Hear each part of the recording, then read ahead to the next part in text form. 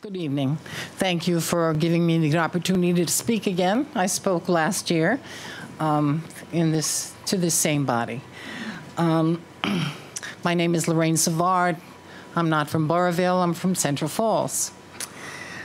I want to talk to the elephant in this room, and that is Invenergy's capital has blinded you all to the quote unquote disputable fact that we as a people are doomed.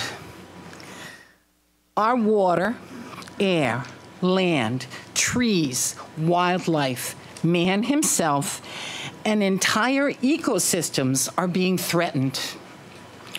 Although no fracking is occurring in Rhode Island, the CR, CREC and its one gigawatt billion dollar power plant is part of a nightmare known as the fossil fuel industry.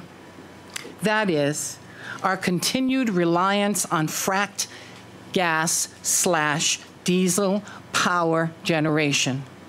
It is destroying things that we hold dear. Rhode Island can be a leader in clean energy. It is up to you support this leg these legislations and others that support a cleaner, healthier environment for this generation and those to come. One more thing. I and the opponents to this are not opposed to the short-term jobs this proposal will generate.